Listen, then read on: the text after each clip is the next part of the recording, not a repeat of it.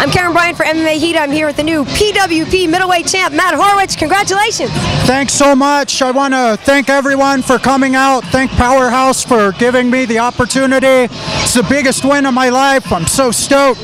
It's a beautiful universe.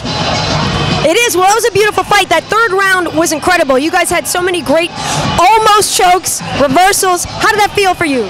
Uh, Thales Leites is um, possibly my tough opponent yet, most likely. He fought Anderson Silva to the decision.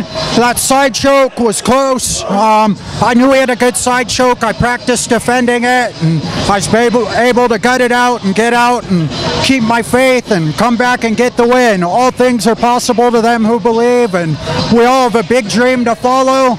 And uh, it's a beautiful multiverse. It is. Are you gonna write a song about it?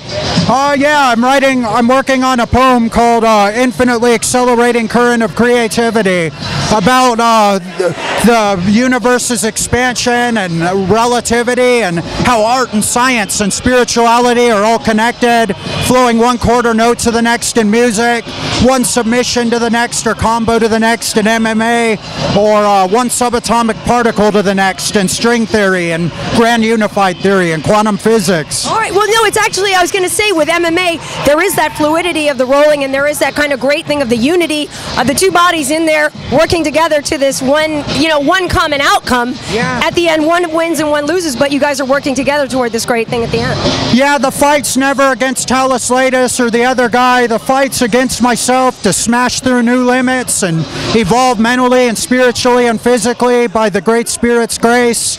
And uh, just uh, keep growing in faith every fight, develop the kind of faith that can move mountains, and keep uh, coming back with a better performance. You have a great corner with Eddie Bravo and uh, Connor Hoon, right? Yeah, I'm blessed with the best team in the world to work with, the best coaches, Eddie Bravo and Chris Riley. Um, it's just a great vibe, great energy. I'm, it's awesome. Great to see BJ Penn here. BJ Penn is like the Geronimo of Islanders. That's a great way to put it. That's a great way to put it. So, what does a guy like you do to celebrate a win? Well, I'm gonna go drink some water, uh, probably go out and say hi to everyone, celebrate with my wife and my team and family, get back in the gym Monday, get back training for the next fight, and keep coming back readier than ever. Right. Well, congratulations to you, champ. All right, thanks so much, everyone. We're all born into a great story, and we all have a big dream to follow.